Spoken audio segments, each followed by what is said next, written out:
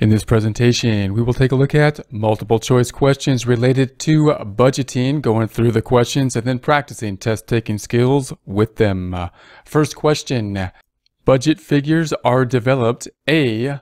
First, a word from our sponsor. Yeah, actually, we're sponsoring ourselves on this one because apparently the merchandisers they don't want to be seen with us.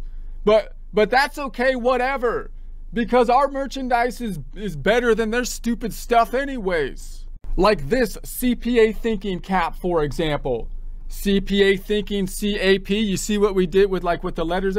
And this CPA thinking cap is not just for CPAs either. Anyone can and should have at least one, possibly multiple CPA thinking caps.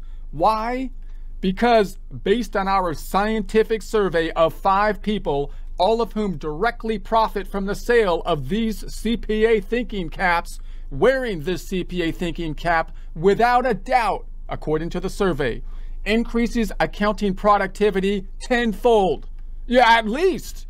Yeah, apparently the hat actually channels like accounting energy from the quantum field ether directly into your head, allowing you to navigate spreadsheets faster.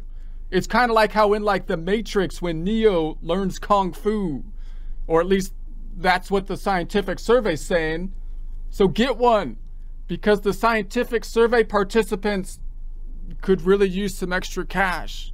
If you would like a commercial-free experience, consider subscribing to our website at accountinginstruction.com or accountinginstruction.thinkific.com. From the top down. be From the bottom up. C by the CFO, D by the CEO, E based on last year's numbers. Let's go through this again using the process of elimination. Budget uh, figures are developed, A, from a top down.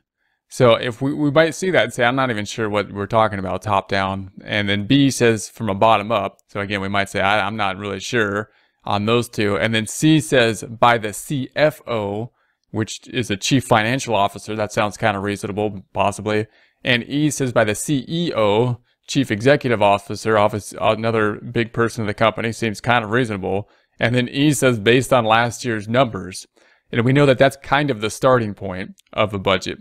So the first one I'm going to re remove is, is going to be E here, however, because anytime that a budget process in a formal, in a question says it's only based on the last year's numbers, it, it's not normally going to be the answer. It's got to qualify that somewhere. The last year's numbers are the starting point.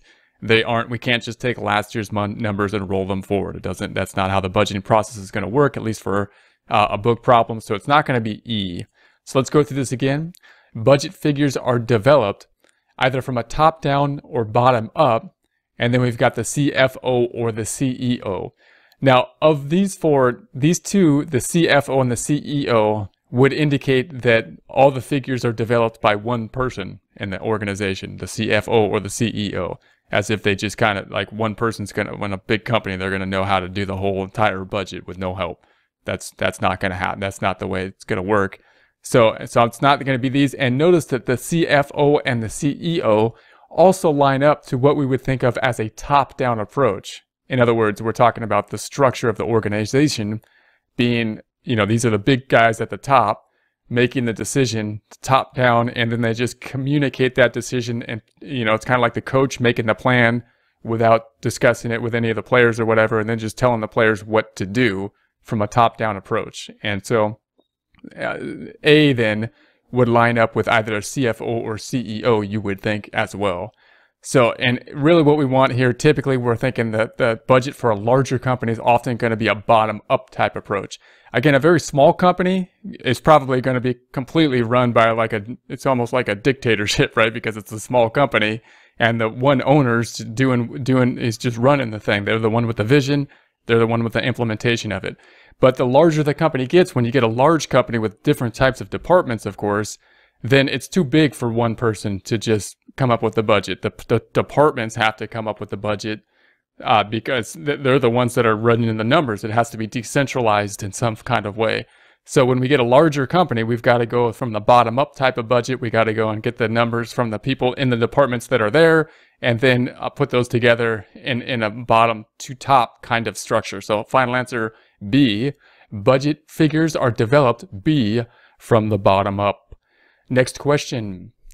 Preparing budgets for each of several future periods and then revising those budgets as each period is completed is either A, uh, participatory budgeting, B, adjustable budgeting, C, strange budgeting, D, continuous budgeting, and E, master budgeting. All right, let's go through this again using the process of elimination.